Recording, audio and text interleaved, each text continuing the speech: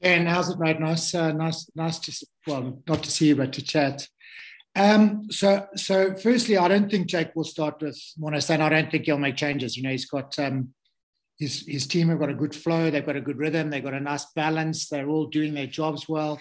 Um, they've come through a, a tough run and they've come through unbelievably well. I don't see any any reason to change that. And Jake is a is probably the most astute coach we have, the most experienced and most astute. And I, and I, I don't I can't see him making any changes to be quite fair, and particularly if it's wet. You know, it's um, he might bring Morne on as a, as a finisher as he's done in the past, but but right now that starting lineup is delivered, and and there's be, there'd be no point in changing it.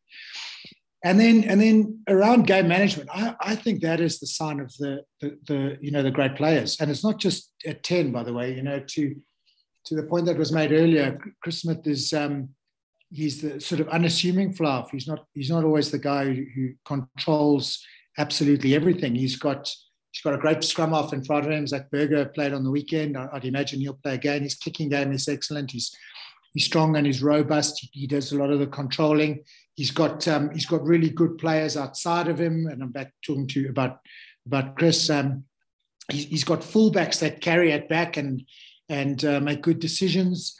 So so I, I think the whole game management package is is what counts. And if you've got a 10 who plays a major role in that, it's it's what you want. If you've got other players who contribute, it's a bonus. And both teams have that. You know, if you if you consider Chris Smith and maybe Zak Burger, and then you look at the Stormers, you you you've got Manie Libbok, and then you've got Damian Willemse at 12, who was you know, we, we thought last week he was out for six weeks and was going to have elbow surgery. He played and was man of the match.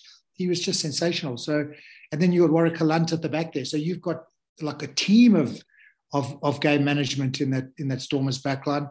It's um it is the be all and the end all. And when we talk about game management, it's not just about decision making. It's about execution. It's about managing space. It's about you know playing the field in the right places. It's about when you when you take a kicking option, it's about making the right kick and executing well.